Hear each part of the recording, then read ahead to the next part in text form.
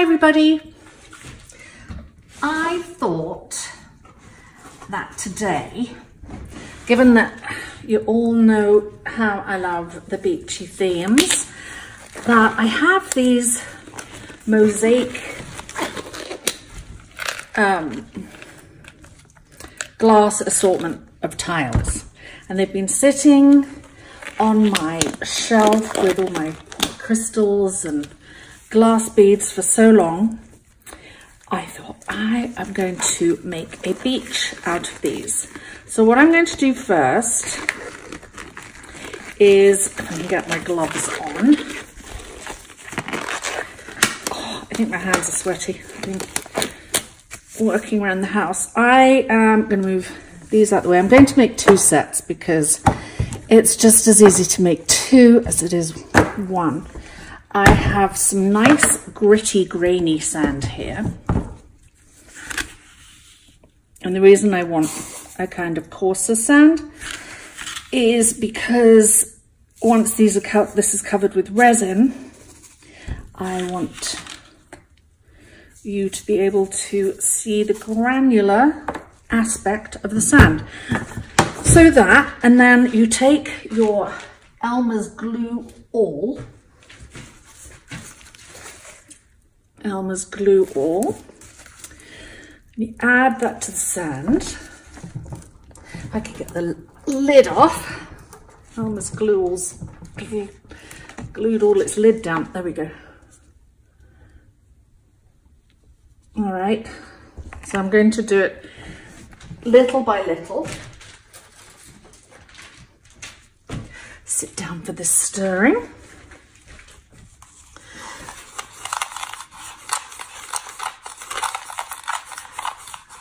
And mix that all in. So I'm going to lay a thin layer of the sand mixture. There we go. You can see the consistency. It's it's kind of thick and sculptural. But don't be deceived, it will still move around. So I got to decide, let me use these ones first. These are different than these. These feel a little sturdier and thicker. So I have to decide where I want my beach and where I want my ocean. And just until the sand is drying, I am going to put some tape down where I want my beach to finish. So I think I'm going to do like just over one third. Okay, I've got my sand mixture. I've masked off this. You don't have to be too precise about this. Basically, it's like you see, this, the sand has settled a little bit. I just want it to be able to dry before it starts creeping over into the ocean territory. And I only want like a little thin, thin coat of sand. So you don't want to watch me doing the whole thing. I'll do one and then I will pause the video and come back when I've done all the others.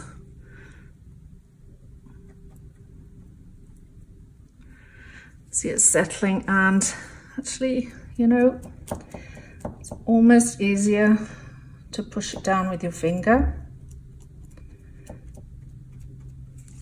because I want it thin.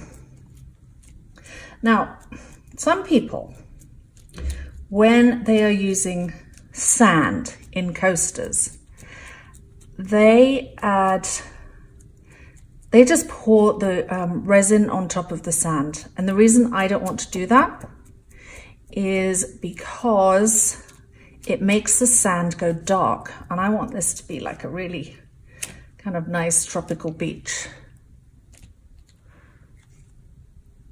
All right, So now that is done. Where is my kitchen towel? I actually had a tidy up of my studio today and now everything is array and I can't find it. I'm too tidy. So I've got my little starfish. So I would decorate these. I'm going to decorate them all slightly differently. So I've got starfish and I have some little adorable shells and these need to go in before the sand has dried. So I've put all the sand down and decorated them and I had to make sure that I used really tiny little shells because I need the resin to cover them. The starfish's leg is kind of poking up a bit.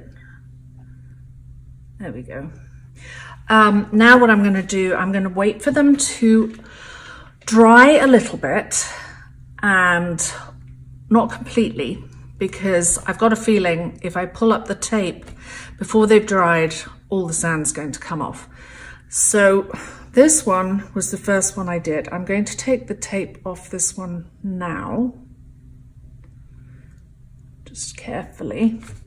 And then that sand is going to relax and I can just put it, poke it down with my finger a little bit. And which other one? This one looks like it's drying up.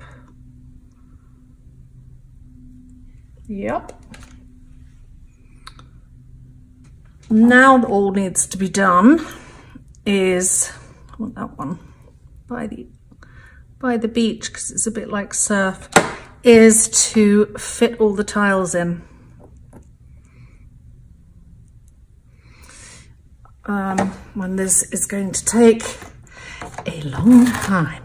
Now, I'm not going to be too particular about where I want what certain colors, because generally, like if you look at these, they look very beachy and oceany anyway. So I'm just going to have them random um, and fill this up. I mean, I say random, I don't really want two the same next to each other, I guess, but um, you can use my tweezers, make it much easier. So there's the first one done. And I am not going to time lapse the rest. I'm just going to go ahead and do the mosaic tiles on all the others. And then when the sand is completely dry we will come back and resin. It has been absolutely gorgeous here today. I played tennis this morning, the sun was shining, it was warm. Now, torrential downpour, all the leaves are flying off the trees. So the resin I've mixed, it's one-to-one -one resin and I am using this new resin called Naked Fusion, the Artist's Resin. And I used it once before on my um, kind of multi-dimensional beach paintings and I absolutely love it and it really, really is crystal clear. And they, when you order it, you get this kind of like instruction thing and it's, it's nice to see some different advice. So they give a tip, do not add more hardener than resin because it will cause the finish coating to remain tacky. Tip, add 0.05% more resin than hardener for a harder cured, cured finish. Um, it has a work time of approximately 45 minutes. You can recoat within six to eight hours, cures in 24 hours and reaches maximum hardness in 72 hours. So I have mixed, I did my little mosaics of my ocean, which is super cute. And the sand is pretty much hard. It's not gonna, resins, because it was glue in there, not water, this is gonna be just fine. So I am going to pour the resin over each one. Gonna let that kind of do its thing for a bit.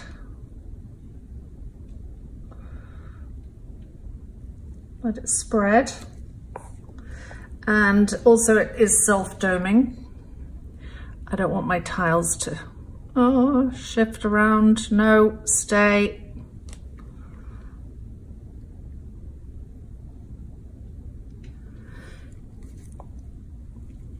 This looks so pretty. And I mixed up, so I've got six tiles. I do want them quite deep. And if necessary, I will do another coat of the resin because I want them nice and thick. It's been a while since I made coasters and I'm loving these. You know, there was a fad of making those Petri coasters, which is really, really, really pretty. I just thought I'd try something different. And whenever you heat resin, it becomes more fluid. I'm sure most of you know that. And if I'm teaching you old tricks, then feel free to fast forward.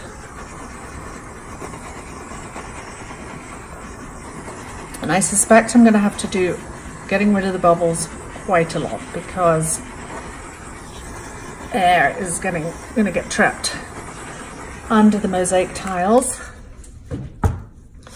Okay, I'm going to add some more to this one.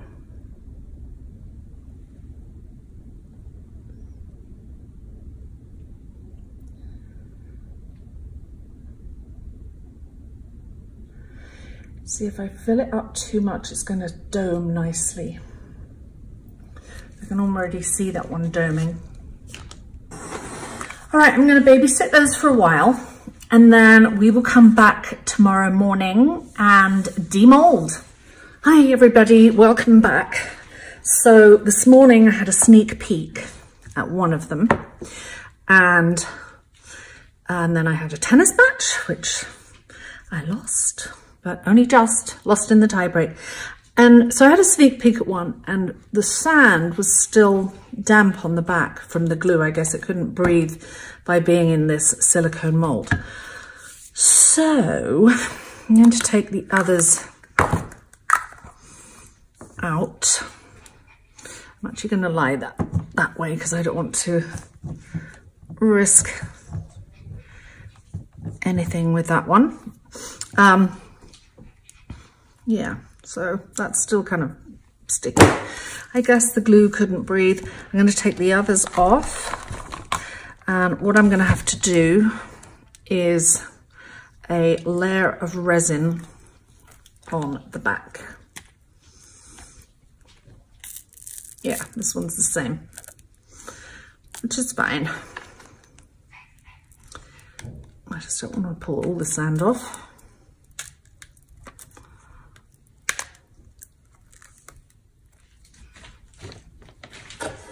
So I've got them out of the mould and a couple of them did tear, but that's okay. Um, it's because I filled them so high, but I wanted them thick. I'm now going to demonstrate how you tidy up the edges if you've got any flashing. So you can see on this one, see here, there's some flashing around the edges. That's this side is okay, it's just around this corner. So the way you tackle that, let me just adjust the camera because I'm going to do it away from the others, is you take your um, knife and you heat up the blade till it glows red. And keep your finger away from the blade because I have burnt myself before and then you just take your knife down the side.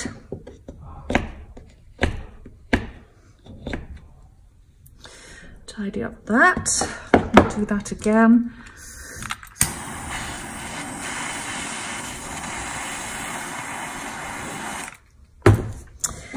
And there's some here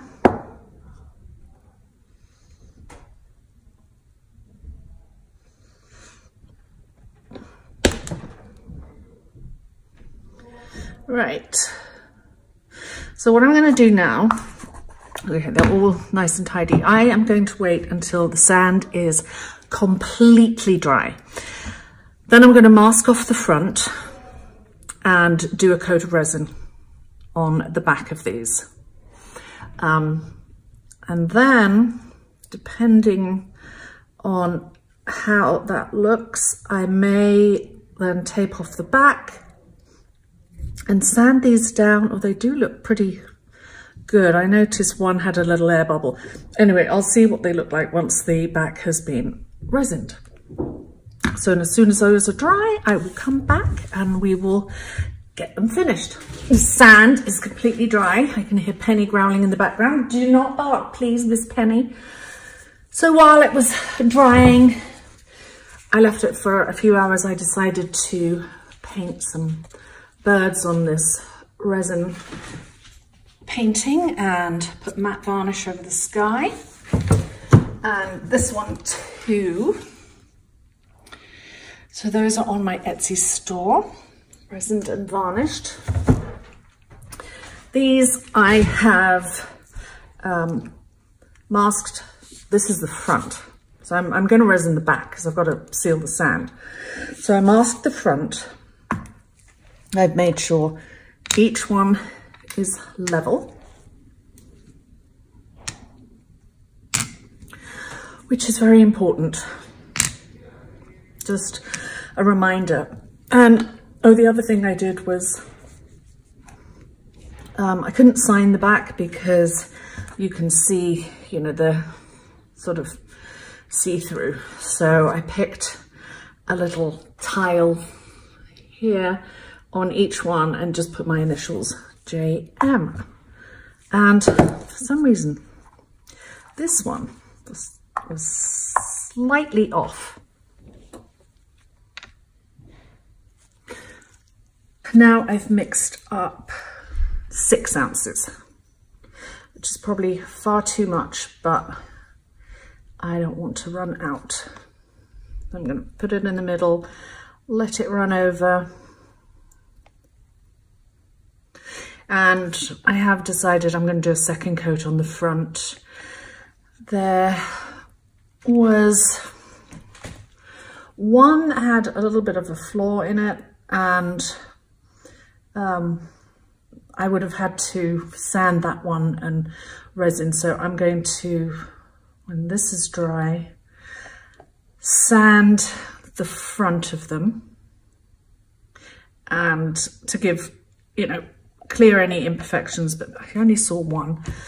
And then put a very, very thin coat on the front. So I'm just going to spread this out. Don't move. I sanded the back, the front of them, and chipped off all the little knobbles. I am going to put them on little cups. I've already got my resin mixed. I did want to show you, I've, I've got one more to mask off and I wanted to show you something that's kind of cool. So let me bring it up to you. So what I did was I did decide to decide to sign the back of it and then I put a really thin coat of resin on that so that's never coming off and so interesting if you can see the sides and you can see through so right now you're thinking these are never ever going to look shiny again, but you're wrong, they are. We're gonna mask the back of this one quickly. I have this new tape that I'm trying out, which is, um, it's an exterior tape from Scotch. So it's kind of plastic. Anyway, I thought I would try this out. My scissors. I'm gonna trim the bits in a minute.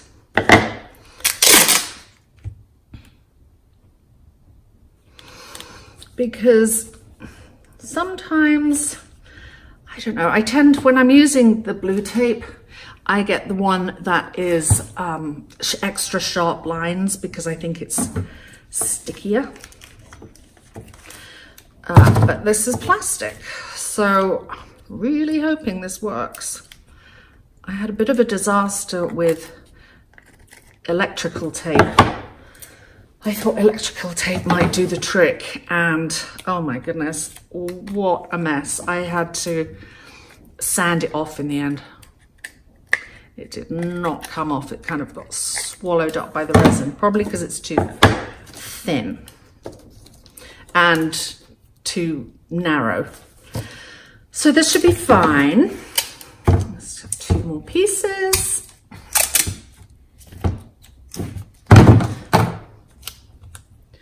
One here and one here. I'm just making sure that I press all the sides down. And I'm not too worried if the sides are super duper smooth because it's, you know, it's, it's beachy. So a little bit of rustic is fine by me. All right, so my resin's mixed. There's details for this are below this video in the description box and I am just going to apply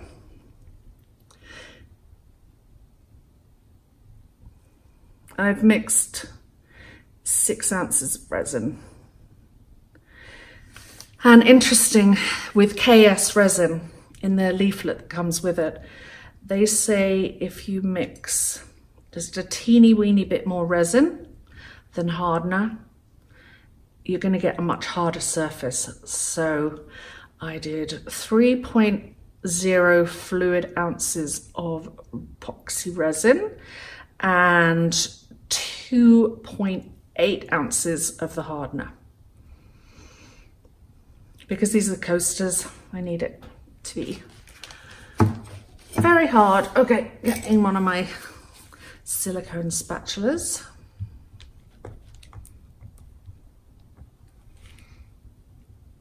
Yeah, these took a good sanding. And see, look, they come back to life.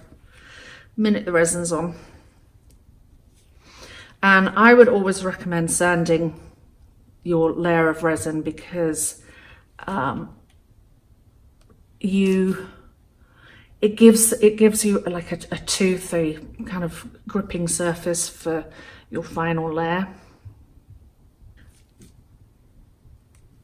Okay, I'm going to go around all six tiles. Sure you don't want to watch me doing that. And then we will come back tomorrow when they are finished. Okay, they came out. They are absolutely flawless. There is not one air bubble in them at all and I have put on these little uh, plastic feet, what they're made of, kind of bendy, maybe they're, maybe they're silicone. Anyway, I've put those on the back, as you can see. And if I hold this up to the light, you can see that they are transparent when they're up like this. And they have all the details, the little shells and the sand dollars and the starfish. So that's it, folks. Thanks for watching and I'll see you in my next video. Bye.